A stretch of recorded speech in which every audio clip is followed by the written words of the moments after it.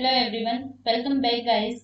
Welcome to our YouTube channel survivor of the Fittest. आज हम लोग डिस्कस करेंगे रिमेनिंग पार्ट ऑफ़ टेक्निक्स जिसके अंदर सबसे पहले कुछ बेसिक कॉन्सेप्ट क्लियर करेंगे और उसके बाद क्वेश्चंस डिस्कस करेंगे सो so, स्टार्ट करते हैं सबसे पहले कल हम लोग देख रहे थे डीएनए आइसोलेशन के बारे में।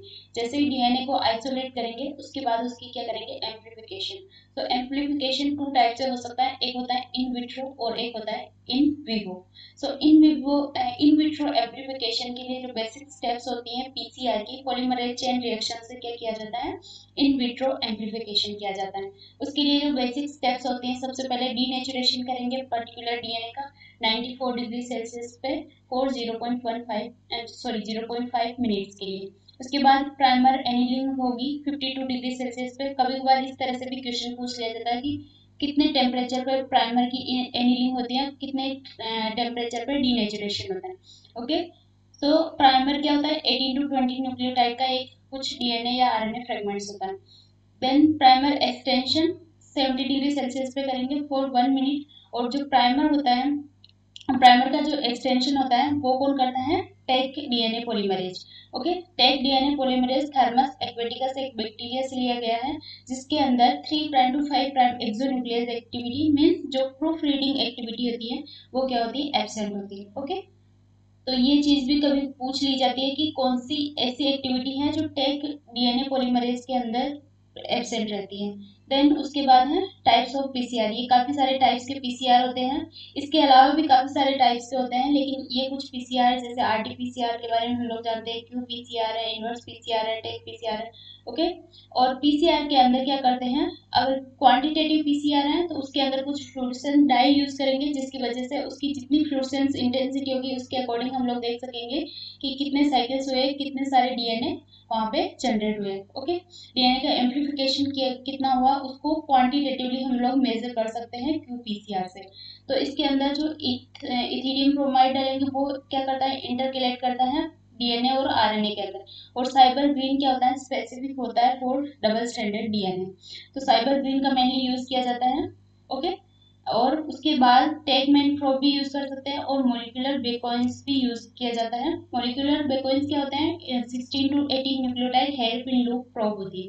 ओके तो इन सारे प्रोब का यूज़ करके ये कुछ यूवी लाइट डालेंगे तो वो क्वेंचर की तरह वर्क करेंगे और फ्लूसेंस लाइट प्रोवाइड करवाएँगे फ्लूसेंस प्रोवाइड करवाएँगे।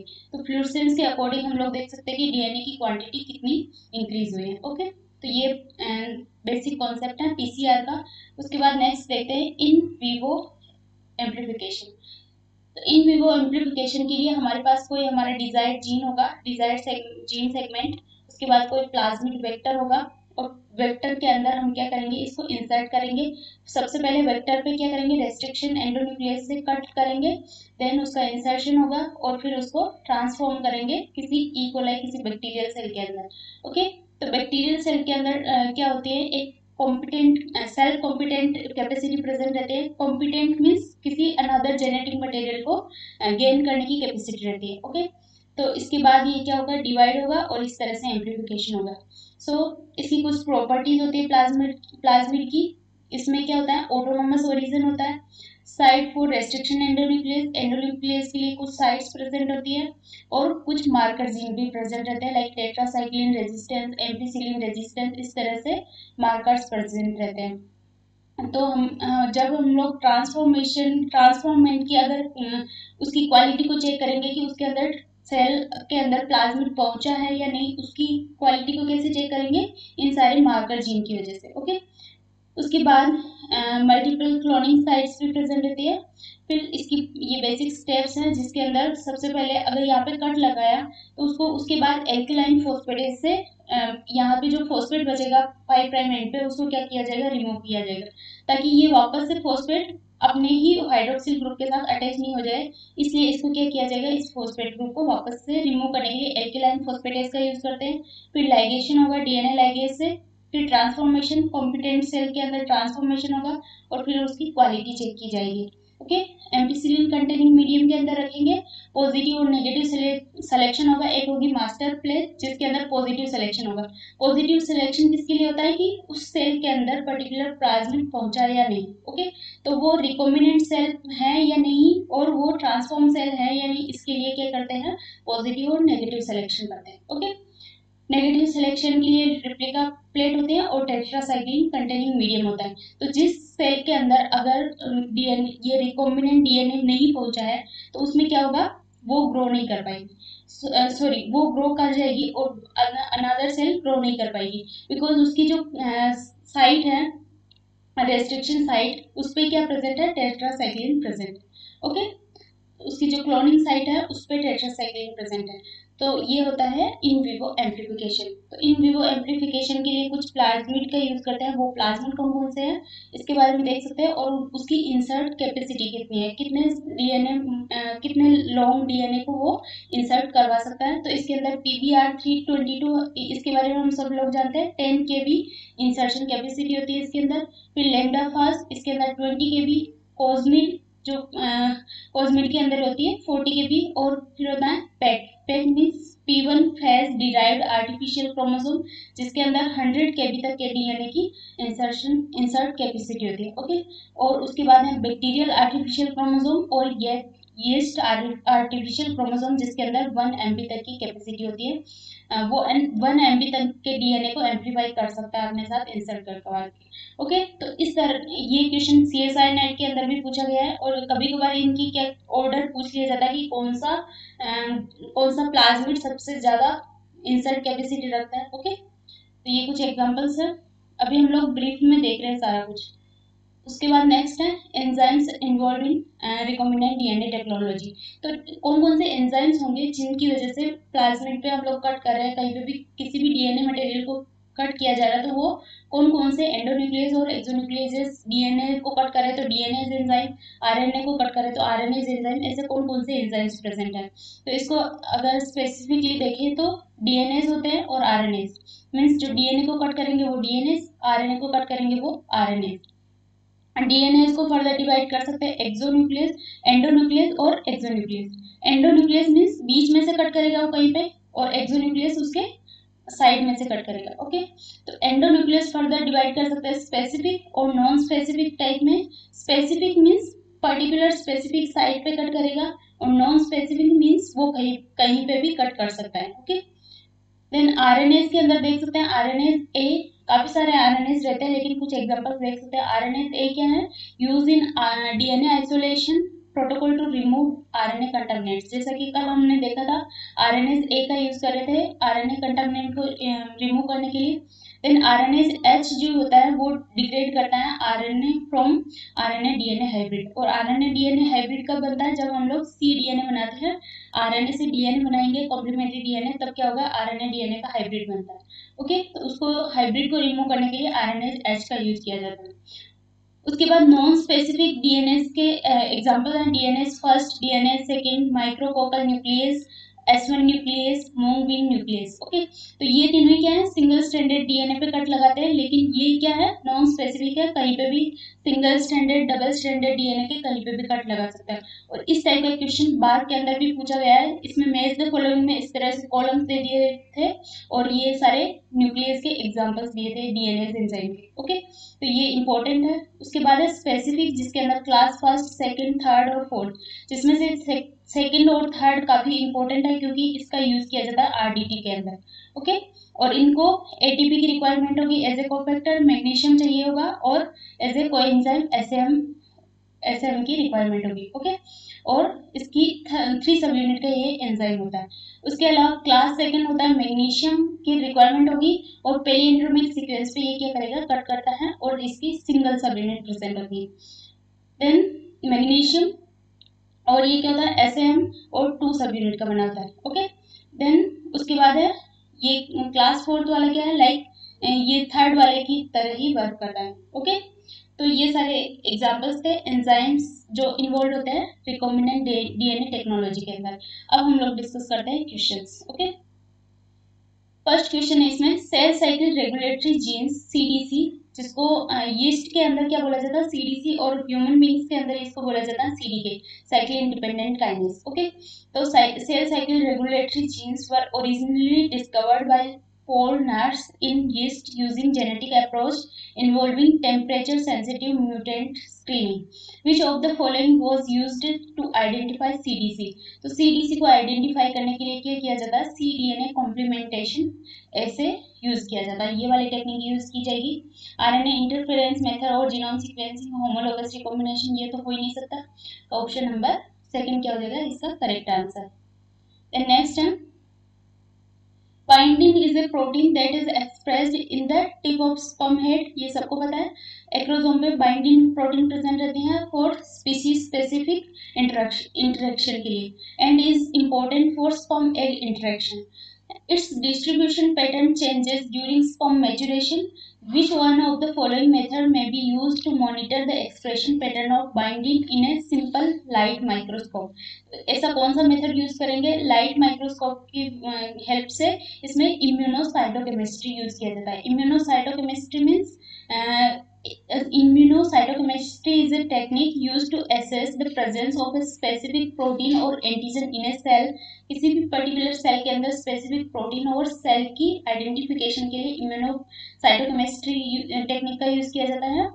कल्चर्ड सेल हो सकती है और सेल सस्पेंशन के लिए इसको यूज़ करते हैं। By use of specific antibody एक स्पेसिफिक एंटीबॉडी यूज़ करेंगे which bind to it and thereby allowing visualization and examine examination under a microscope जिसमें लाइट माइक्रोस्कोप का यूज़ करेंगे। Okay so option number C क्या हो जाएगा इसका? Correct answer next question is which one of the following techniques cannot be used to remove salt from a protein solution?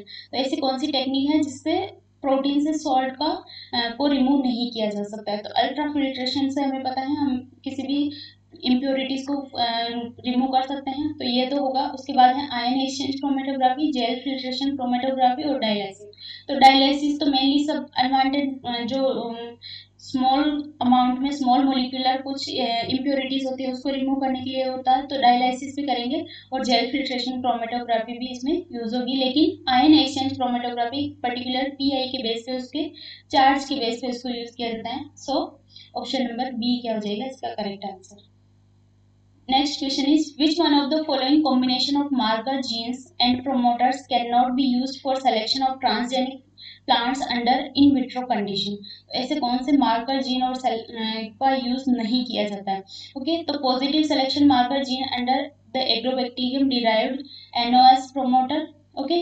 तो ये nopaline synthase promoter ये तो यूज़ किया जाता है। Then conditional negative selection marker gene under the an inducible promoter ये भी किया जाएगा। Positive selection marker gene under cauliflower mosaic virus 35S promoter ये भी यूज़ किया जाता है। लेकिन non conditional negative selection marker का जीन का यूज़ नहीं किया जाता। तो इसके अंदर हम लोग देख सकते हैं नॉन नॉन कंडीशनल का मतलब क्या होता है जो नॉन स्पेसिफिक होता है किसी सबस्ट्रेट के ओके तो सबस्ट्रेट इंडिपेंडेंट होगा उसको क्या बोलेंगे non conditional expression of the negative selection marker genes in transgenic plants causes immediate or conditional cell death by interfering with normal growth and development okay it allows selection of cells which lack the non-selectable marker gene based on the mode of action. Non-selectable markers are classified as non-conditional जो क्या होंगे and and, and negative selection markers and conditional substrate dependent. Negative selection marker okay तो two types में इसको divide कर सकते हैं. Expression of the non conditional negative selection marker genes leads to immediate cell death after transformation it does not require any other substrate for its action तो ये non conditional और conditional negative selection markers क्या क्या होते हैं? इसके बारे में सो ऑप्शन नंबर डी क्या हो जाएगा इसका? Correct answer next question is Several experiments have shown leaky, deregulated expression of reporter genes with thus GUS gene, okay, glufosinate genes um, from plant promoter in agrobacterium cells. Which one of the following approaches uh, would be most useful in restricting transgene expression in transformed plant cell and prevent their expression in agrobacterium?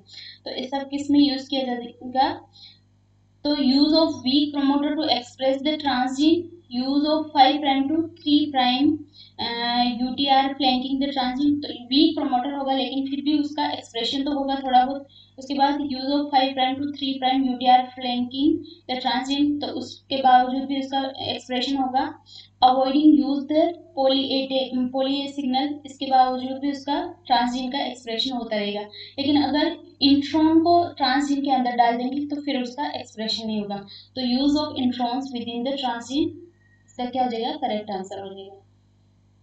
Next question is the range of transformation frequencies obtained in independent transformation experiment using four different construct with different combination of promoters ये कुछ genes के construct बनाए हैं जिसमें अलग अलग promoter का use किया गया है और अलग अलग सिलेक्शन मार्कर्स का यूज़ किया गया है तो इसमें कंस्ट्रक्ट्स देख सकते हैं इसमें कोलीफ्लावर मोजेक वायरस का है नोबेलाइन सिंथेस जीन है और इसमें जीन है बार जीन ओके और इसमें कुछ एनोएस पोलिए इसकी फ्रीक्वेंसी दे रखी है। ओके तो फ्रीक्वेंसी का तो कोई फ़र्क नहीं पड़ने वाला पोलिए का। Okay polyadenylation in the absence of any other factor which one of the following statement is not acceptable as a logical conclusion based on the about data तो ऐसा कौन सा स्टेटमेंट इसमें नॉट एक्सेप्टेबल होगा? The use of strong, uh, stronger promoter for expression of selection marker genes can increase transformation frequency. ये बिल्कुल सही बात है अगर strong promoter use करेंगे तो उसकी transformation frequency भी क्या हो जाएगी increase हो जाएगी Then variation in expression level between the NPT and bar gene is not influenced by NOS polyA signal. ये भी बिल्कुल सही बात है NOS polyA signal से कोई उसमें फ़र्क नहीं पड़ने वाला Then production of herbicide resistant plant at high frequency can be achieved with lower expression level of the transgene. तो production of herbicide resistance plant at high frequency अगर high frequency में obtain करना है तो lower expression नहीं करवाना पड़ेगा उसका क्या करवाना पड़ेगा हायर एक्सप्रेशन करवाना पड़ेगा। तो option number C in inappropriate लग रहा है यहाँ पे। उसके बाद use of kanamycin as a selection marker appear to be more favourable for production of larger number of transgene plant ये भी बिल्कुल सही बात है।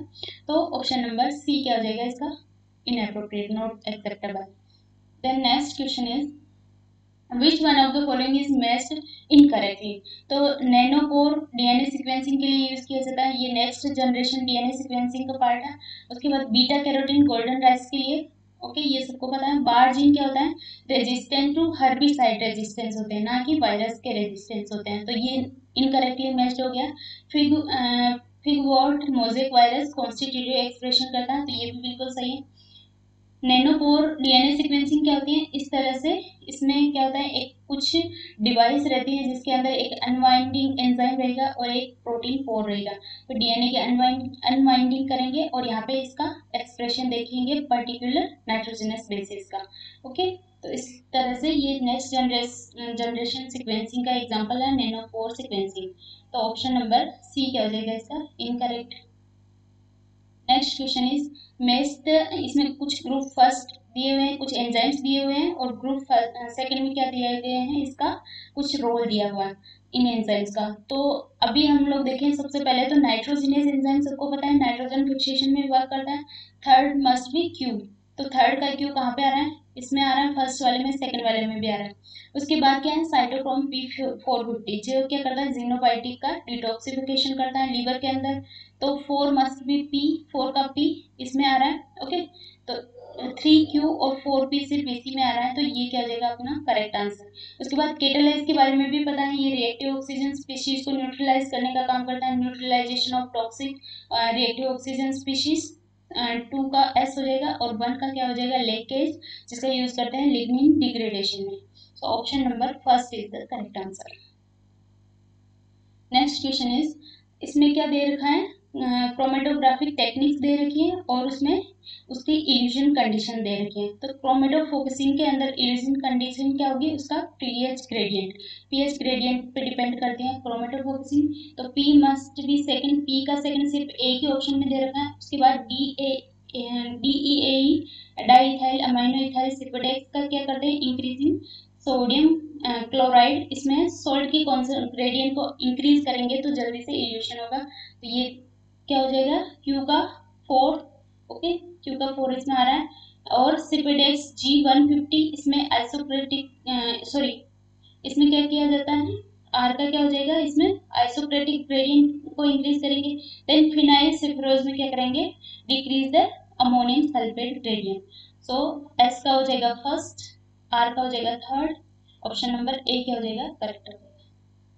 Then next question is which one of the following given below represent the correct combination of plant defense response plant defence response है इसके अंदर okay और कुछ ये एंजाइम्स के नाम दिए हुए हैं। तो इस तरह के क्वेश्चन आप देख सकते हो, कितना रिपीटेशन होता है क्वेश्चन का। अभी इस टाइप के क्वेश्चन दो तीन बार हम लोग देख चुके हैं।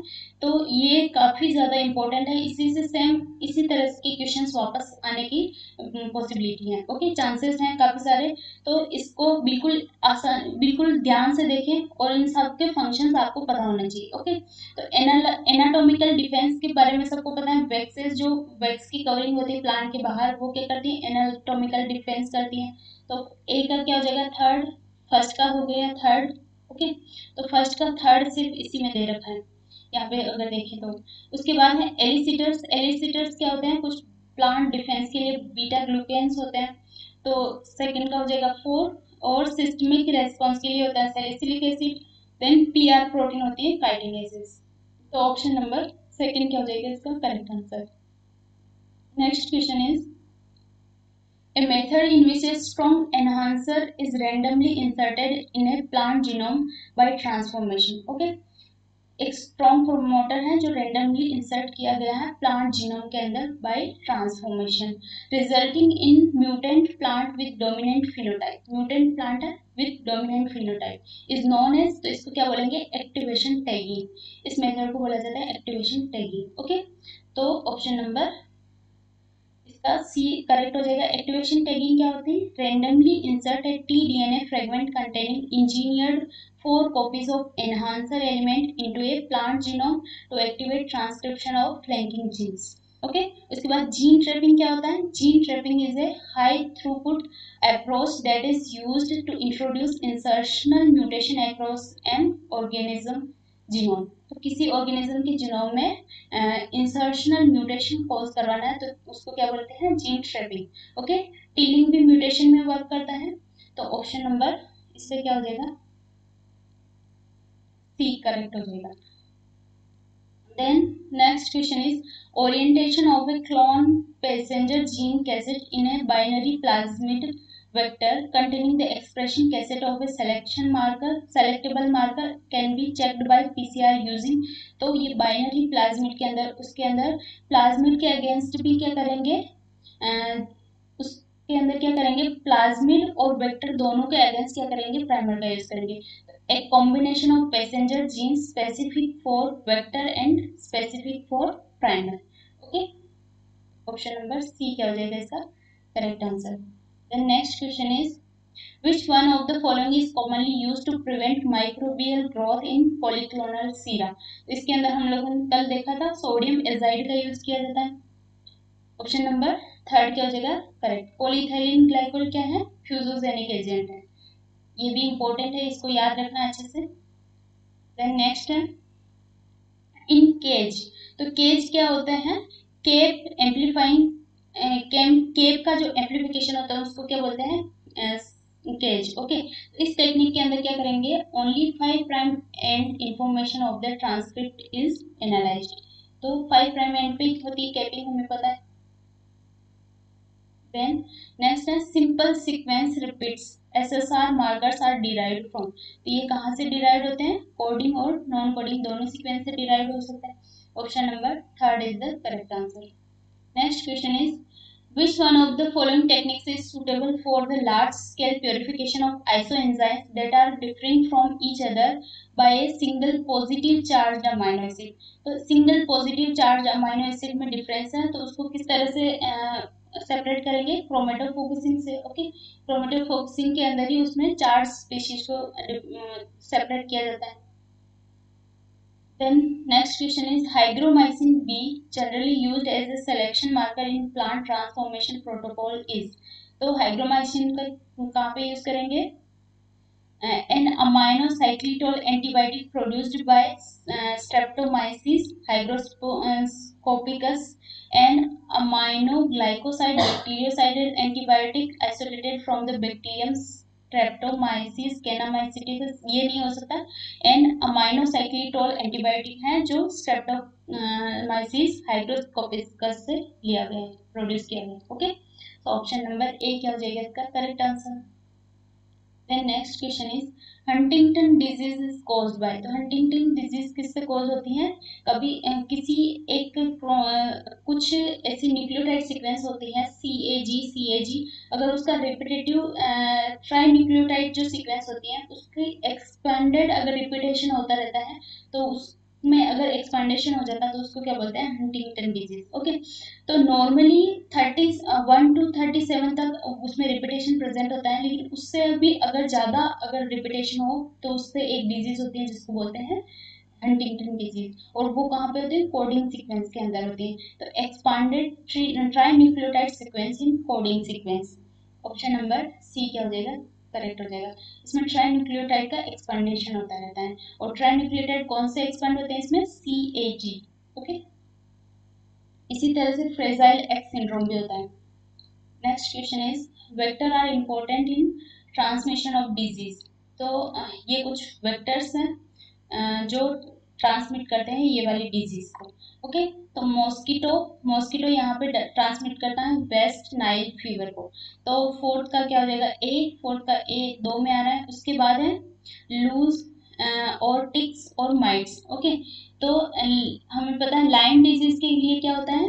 लाइम डिज़ीज़ के लिए यहाँ पे होता है टिक ओके टू का हो जाएगा सी देन माइट माइट करते हैं स्क्रब टाइफस और फोर्थ का हो जाएगा सॉरी फ़र्स्ट का क्या हो जाएगा, लूज का क्या हो जाएगा, ये क्या करते हैं एपिडेमिक टाइफस तो ये डिज़ीज़ कोज करते हैं, कुछ वेक्टर्स हैं।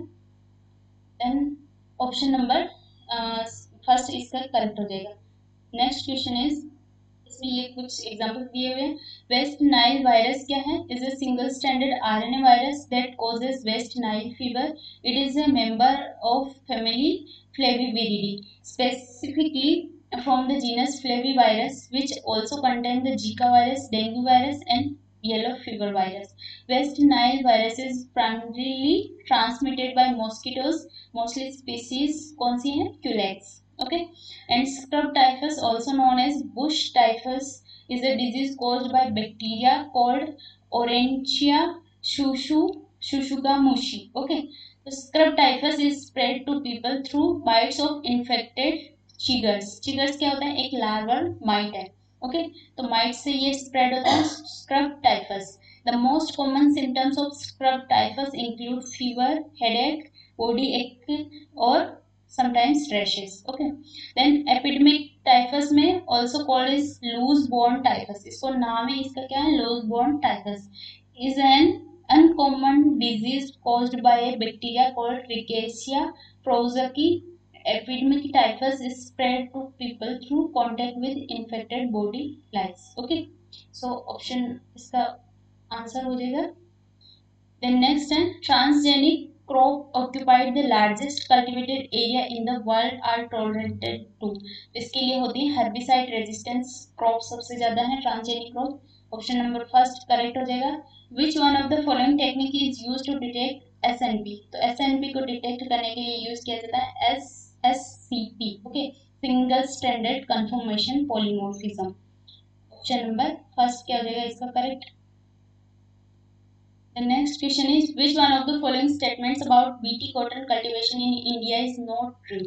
तो not true पूछा है इसमें farmers cultivated BT cotton are benefited from higher return ये भी ये correct है उसके बाद pesticide consumption on cotton is significantly reduced ये भी बिल्कुल करेक्ट है। India become an exporter of cotton export करता है, ये भी करेक्ट है। उसके बाद the cotton cultivation in India is free from bollworm menace इसका इसका मतलब ये नहीं है कि वो बोलवाम से बिल्कुल ही उसका खतरा हट गया है। तो ये रॉन्ग हो जाएगा wrong statement option number four is the wrong statement okay next question is the latest version of golden rice contain the following transgenes तो लेटेस्ट वर्जन पूछा है, इसके अंदर गोल्डन राइस टू के बारे में पूछा पहले जो प्रोड्यूस किए गए थे, वो क्या थे? गोल्डन राइस वन जिसके अंदर वाइटामिन ए की डिफिशियंसी को दूर किया गया था ट्रांसजीन्स डाल के उसके अंदर थ्री जीन्स का इंसर्शन किया गया था।